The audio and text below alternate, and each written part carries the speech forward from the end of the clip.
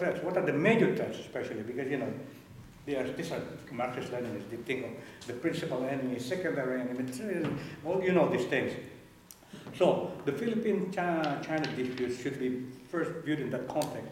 That the Philippines trying to determine whether uh, the Chinese is to do, whether the Philippines is a friend, a friend or a foe. You know, these are revolutionaries. You know, the basic principle of revolution is to know your friends and enemies, and then you know you ally with your friends, and you push your enemy, you, you conduct all the united front. That's the basic thing. Now, here comes the Philippines. At the time, bad timing actually, the dispute.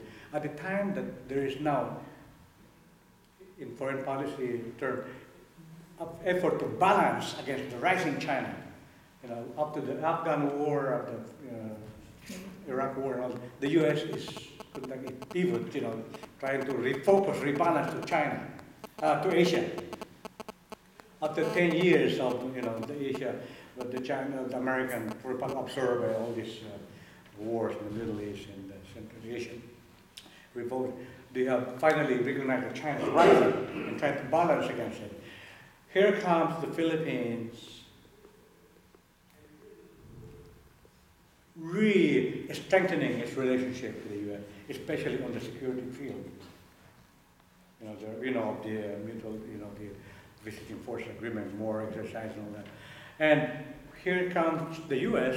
conducting a so-called smart power diplomacy, which essentially means that it, the U.S. recognizes it as no longer a dominating overwhelming superiority in, uh, in economic and military terms, but it has now have, it has to rely on alliances, other, other countries. So allies means Japan, Philippines, Australia, all that, in order to help balance against Russia rising China. So that's the context. So given that larger picture, here we come, here we, here we are claiming ownership and want to control the islands.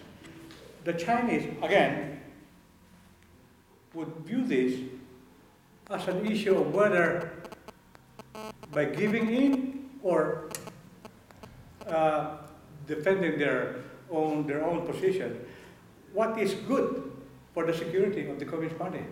The regime sort of a legitimacy, and eventually the, what is good for the security of China. That is the, the most important thing that has to be resolved. Uh, that we have to attack, so to speak, if we, if we want to achieve some breakthrough in our relationship with China and trying to finally find a solution to this island dispute. And I think that's where we are. Uh, the Chinese absolutely will not give in or take actions that will be prejudicial to their own security. That's, that's, that's a given. No, that's no brainer, right? So our challenge, of course, we have we have gone to the rules court. We, we know very well that uh, given the diplomatic history of China, they have never and never will, never in the, in the past and never will in the future, submit issues of sovereignty, security to international or foreign bodies. No, they never done. There is not in the history of the Communist Party. This, it's basic. It's a no-brainer again. That uh, that's so basic uh, knowledge and therefore, even if we are, of course, the court, international court, submitting our claims, according under the UNCLOS treaty, you know, that the Chinese will not play the, will not play dance the tango, so to speak. You know, they will, they will never, they will wait out the result of that. So we are in that situation. From our own national interest, maybe it's important to to go to the court for our own uh, higher moral background, or to gain the moral high ground, for our propaganda to justify that we are a rules-based country, but it doesn't mean anything in terms of substantially uh, uh, advancing the process of, of, of, trying to find a solution to this island dispute. We still have to go back to the basic principle. Are we friends or enemies? That is how the Chinese will view it. If we are friends, so basic in the history. Of course, it's complicated, more complicated than that. We'll have experts will debate how the borders are. But the basic principle first is, uh, and that is the most important for Chinese leaders, uh, Xi Jinping all that, is the strategic situation, equation, so to speak.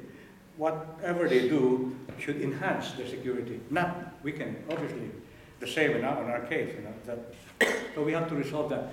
So that's where we are in terms of uh, the Philippines-China uh, dispute. that we are caught in an impasse, in a kind of uh, uh, there's no way to move forward until we resolve that issue.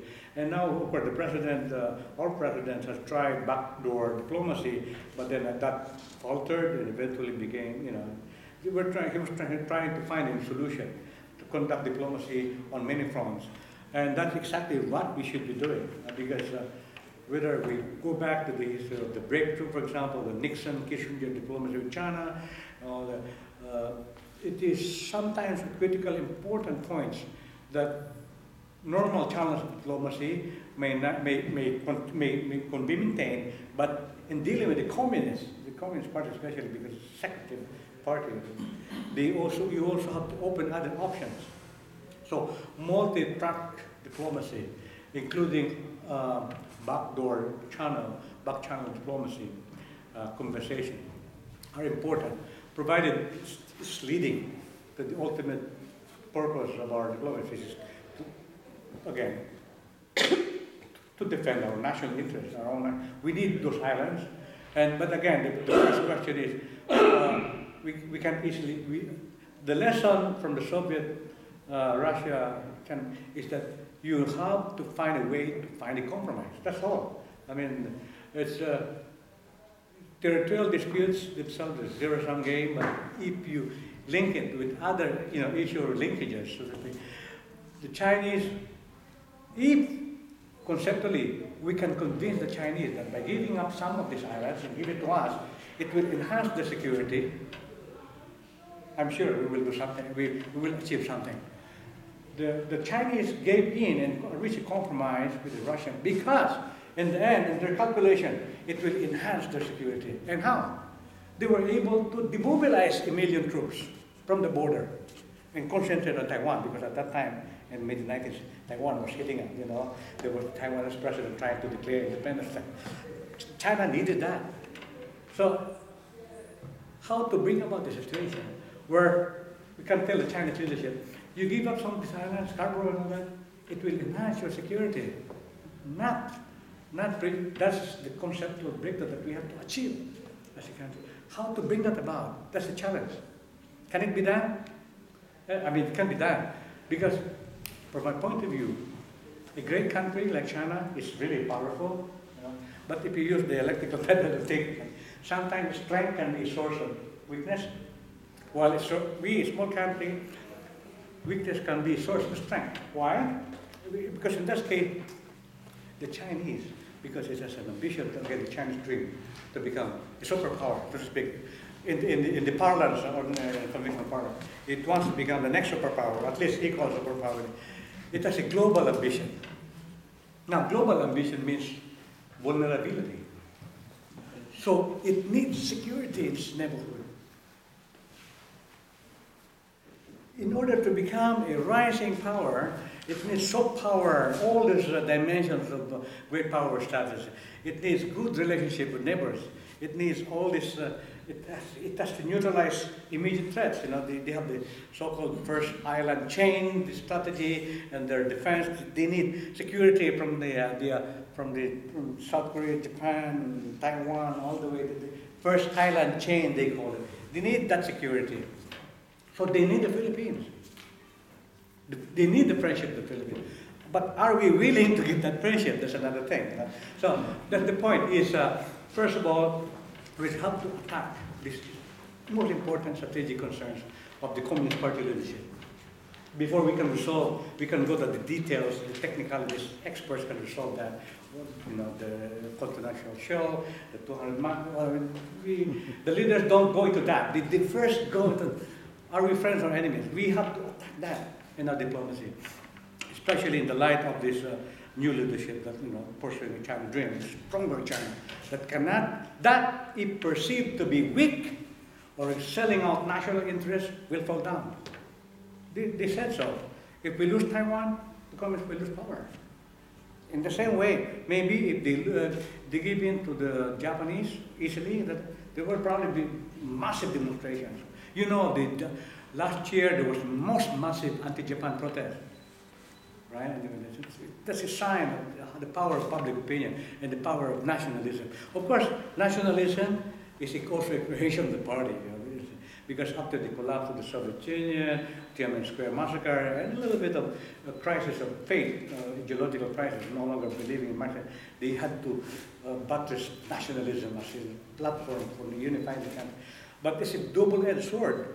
Um, the Communist Party, if the Communist Party is perceived to be not strong enough, that's why during the height of the anti-Japan protests last year, there were people holding the portraits of Mao Zedong.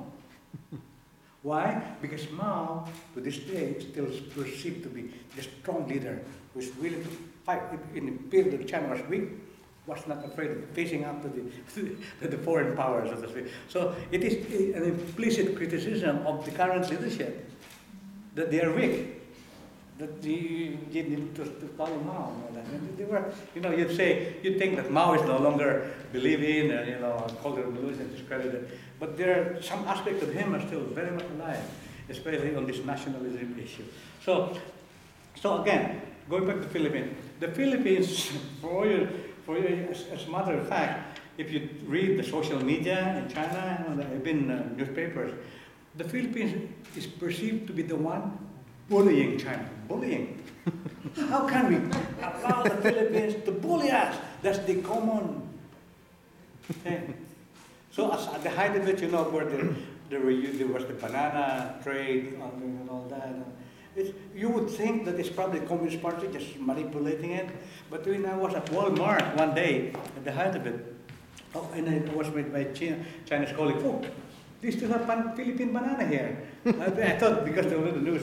And then somebody, the attendant, a very ordinary attendant at Walmart, oh, nah, that's the last one. No longer not selling anything. So he, he was, he was, uh, he was really telling this banana will be no longer. We just let them rot, and then we will not sell Philippine banana anymore. It's, it's spontaneous. It's just an ordinary. That's how deep the uh, nationalistic, and maybe because the Chinese after all, they don't practice the freedom of the press, flow of information as we know it. You know. That's probably part of the reason why. But again, whether you like it or not, that's the reality that at the grassroots level, there's a very nationalistic consciousness and trying to look, trying to judge the leadership whether they are good or not in defending national interests. In the case of the Philippines, of course, the island. So they will, they always play up how the Philippines maltreated the Chinese fishermen. It's all on the documentary. You can see it. So. Of course, the state media, for state control, it probably up national even more, but that's the situation we're in. So we have to really attack that issue of whether the Philippines is the bully on behalf of America, so to speak. We have to attack that. We have to, uh, we, uh, we have to make them believe that we are we mean real friendship. But then that's they have, we have to show it in action, in actual policy that we are friends. Once we achieve a friendly context, a strategic understanding, and here comes diplomacy at the top level. Uh, the Chinese Communist Party are believe in top level diplomacy, not just in, not just the foreign minister, but on very strategic issues. They need uh, a what they call the strategic trust, really understand can lead almost on a personal level. Uh, that is lacking as well in Philippine-China relations, the strategic trust between Aquino and, and the new leaders, for example, there's never been a dialogue between the top, you know. Because, however, the experts, the legal uh, experts, the diplomats, the techni- technical experts, the uh, experts, lawyers, you know, deal with all the details of this dispute, they will go nowhere until there is a strategic trust between the top leaders. And that's how the Chinese come. Nixon is the, the opening of China. That's the lesson of it. You need a strategic. Once there's an understanding, all the details can easily be. They came out with the communication that came up with the compromise formula about Taiwan. They, they get it because the most important precondition of, uh, of strategic trust was achieved at the highest level. That's lacking in the case of Philippine diplomacy towards China.